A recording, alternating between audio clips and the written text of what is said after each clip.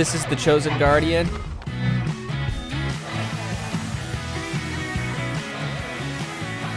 And you're watching Destiny 2.